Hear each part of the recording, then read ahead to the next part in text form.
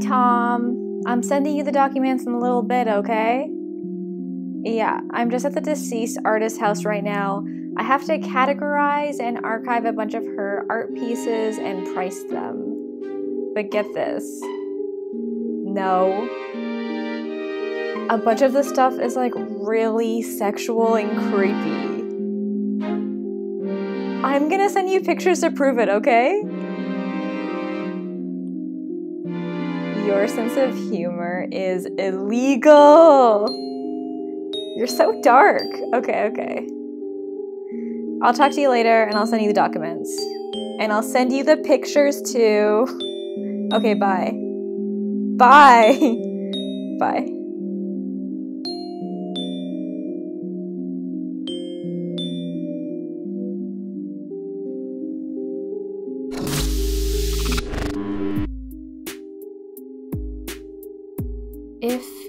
Are listening to this, then I must be dead. There are some things that I need to come clean about. I had no idea the rules I made about elemental weaknesses, inherent temperament, and power levels would be taken as law, but I should have known. There are deep implications in treating living beings like this. There's a bad history.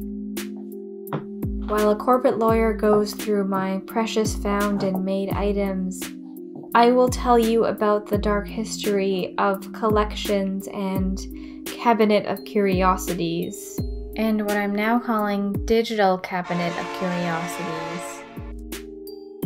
Digital inventories, think Pokemon and Neopets. They are a collection of fictional objects, creatures, or beings displayed and categorized by their features and attributes. The function of them is to be able to easily compare one object from the other and to be able to see all of your possessions in one place. But why do we do this?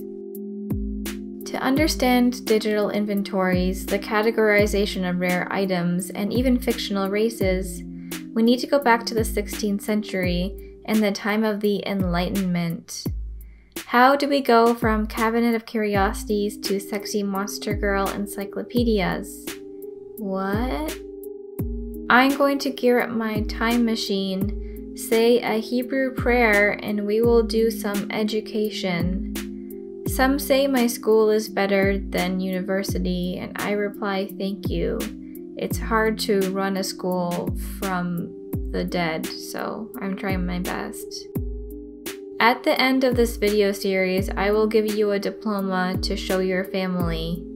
Here we go! Yehi Ratzon, Milfanecha, Adonai Eloheinu, Velohei Avotenu, Shetolechenu, Leshalom. Wow, we are in England in the 16th century. You either look like this this or this? Just kidding, I am reputable, see? England sucked and was colonizing everywhere, stealing stuff and shipping humans as slaves and exotic animals around the world to drown in shipwrecks.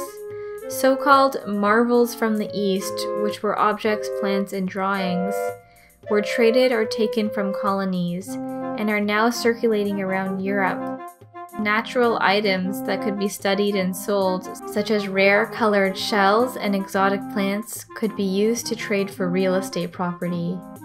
Writings and drawings are being circulated about these objects, giving them lore and reputation. To demonstrate to a lady that you were a worldly man, you might court her by showing her your collection of notable exotic objects. Whoa. You might be like, if we get married, we can combine our collection of stolen knickknacks and everybody will be so jealous.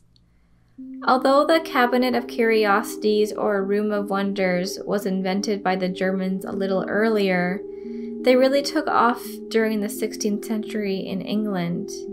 This was a pastime only for the elite and wealthy, Cabinet of Curiosities were essentially a room or a piece of furniture containing special collected objects. In a cabinet of curiosity, one could find dried, rare plants, geological fossils, paintings, religious relics, and more, but sometimes the objects were faked. Around this time, there are strong breaks from the church happening, and people are starting to reject immaterial things and spirituality. Sorry, ghost girls. And laying value only on what one could directly experience through their senses. Mushroom girls. Mm. Okay, let's take a break. Have you ever read the book I Spy? You have 20 seconds to find all five hidden acorns. Go.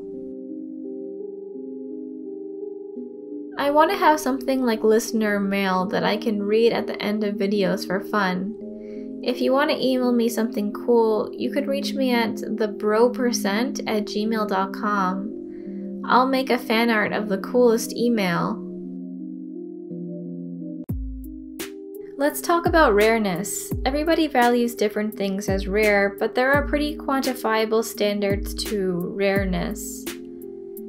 A gamer computer is expensive. Helium on Earth is rare, and the original copy of Anne Frank's diary is invaluable. Everything that is considered rare is constructed as such by humans and is relative to our use of it. Although access to helium balloons is easy enough to acquire, helium is relatively short in supply on Earth and is a non renewable resource. Anne Frank's diary is a historical relic and also a genius piece of literature. I love you, Anne. I guess I'll be seeing you in heaven. So, how does this work with digital archives where pixels can be infinitely replicated? Can something be rare without scarcity? A game like Pokemon or Neopets will create a scarcity of cool items while also giving you a very clear understanding of how their fictional currency works. They will also make sure that rare items have narrative significance and sometimes a reward which creates lore around the object, making them double desirable, double de-desirable, just like in the real world where companies create a false scarcity of a desired item to increase people's interest and drive up the market value. Games will also provide you with ways to show off your rare items and creatures that you have collected, and give you many opportunities to enrich your collection. Yeah, like Pikachu is wifey, but we want to capture all those big legendary boys, right? This is the end of this video because our class is over and now it's time for recess. You will see what happens on the next episode. Uh, definitely subscribe to me and give me likes. Hey, this is Maya. Uh, not the dead Maya. This is the present rat Maya. I wanted you to know me, the Maya that is not evil, that I have a Patreon and you should check it out. I give lots of cool bonus features in it, and also there's a tier where you can commission me to make a sexy secret drawing for you. So check it out. Thanks for watching. This is an art piece I made while I was in school where I took electric angels and Jesuses and made uh, some sort of glowing shrine